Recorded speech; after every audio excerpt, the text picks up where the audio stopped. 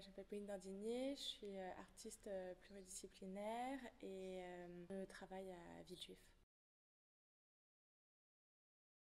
Au départ, j'étais passée par l'ECAL en Suisse et j'avais été vachement frappée là-bas de, l'efficacité visuelle en fait des, photographies plutôt commerciales ou de, publicité de, de, mode, etc.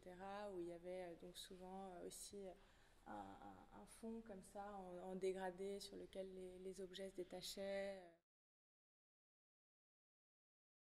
Donc euh, la série s'appelle euh, Bittersweet et en fait euh, du coup on retrouve effectivement dans, dans, dans ces photos à la fois quelque chose d'hyper attirant et séduisant au niveau des couleurs, des, des, matières aussi euh, et, euh, et, quelque chose euh, en fait parce que c'est, tout est dans, l'excès dans, ces images là quelque chose de, totalement repoussant et on est dans une forme d'ambiguïté en fait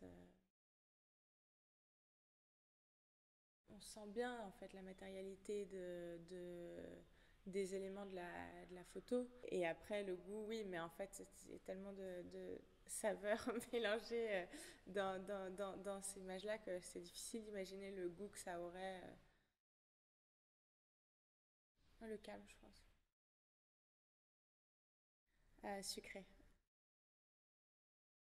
Je pense de manière générale plutôt moelleux dans quelque chose de très sucré dans l'odorat, Enfin, je, crois en tout cas quand, quand, je sens des choses un peu euh, presque vanillées. Lumière naturelle, je crois.